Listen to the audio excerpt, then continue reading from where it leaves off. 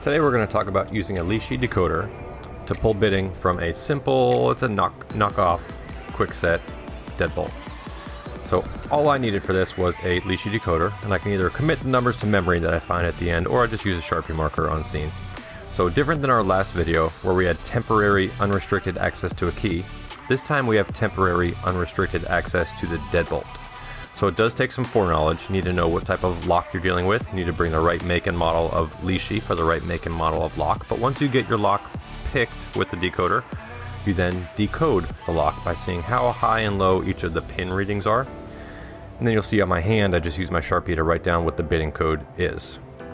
So this took maybe less than 60 seconds on scene to take my Lishi out of my pocket and to get the code from a doorknob. Now the nice thing is I can walk away from the scene, go somewhere where it's more private, like a, uh, a mobile operations base, or an office, or off scene. Lots of different ways you can cut a key.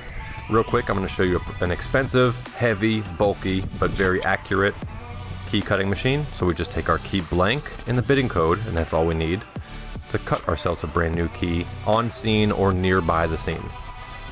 And you'll see that this process just started, and this takes just under 60 seconds as well to make a factory spec key in the field, which is really useful.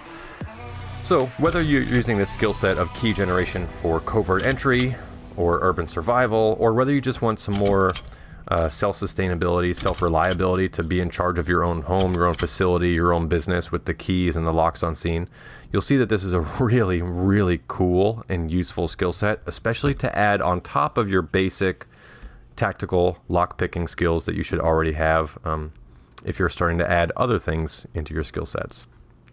I'd start off with lock picking, latch bypassing, um, but then of course uh, you should always be stretching your goals and seeing what you can do. And this is our brand new cut key. We put it into the lock and